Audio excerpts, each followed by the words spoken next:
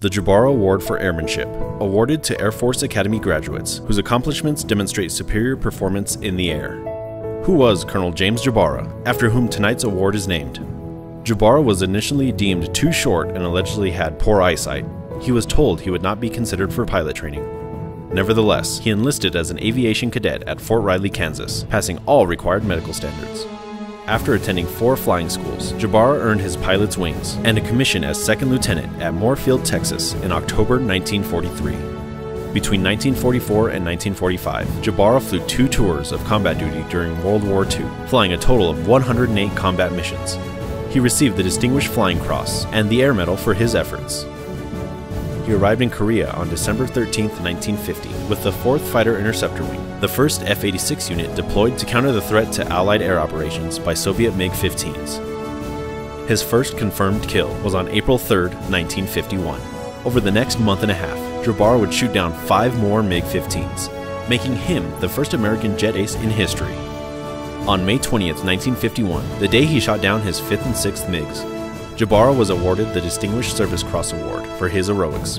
He also earned a Silver Star with an Oak Leaf Cluster Award. After a stateside publicity tour, he returned to Korea at his request, now a major for another tour of duty. He would shoot down another 9 MiGs for a total of 15. Today, his legacy of excellence lives on with the Colonel Jabara Award for Airmanship. And now, we honor Colonel Tyler Nick Hague, class of 1998, and Major Caitlin T. Reilly, class of 2007, the 58th and 59th recipients of this prestigious award.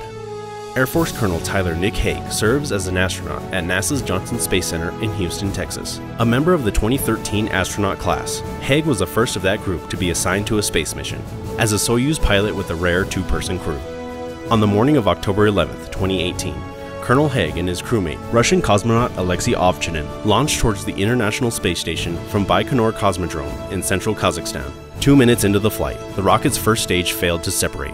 A lack of thrust gave way to violent oscillations, which began to shake the crew. Colonel Hague and Ovchinin's training kicked in as the pair stepped through procedures to regain control of the spacecraft.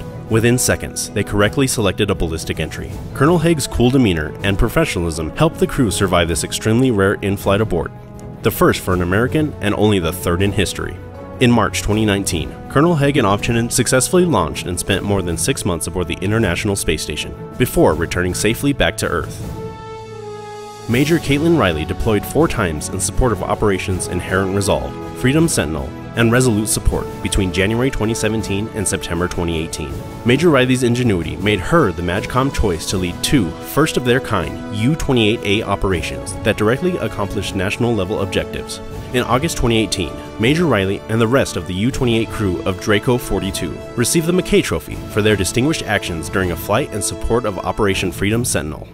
Major Reilly's superb airmanship and leadership allowed her to perform exceptionally in the most challenging of missions, from developing new and innovative ways to utilize unique U 28A capabilities, to leveraging her crew and mission systems to maximize U 28A lethality in combat. Major Reilly demonstrated over the course of multiple deployments that she set and maintained the highest operation standards for both herself and her crews, resulting in 679 enemy and 56 high value targets removed from the battlefield between 2017 and 2018. Colonel Hague and Major Reilly's persistent leadership and superior performance reflects highly on the Air Force Academy's contribution to airmanship and aviation.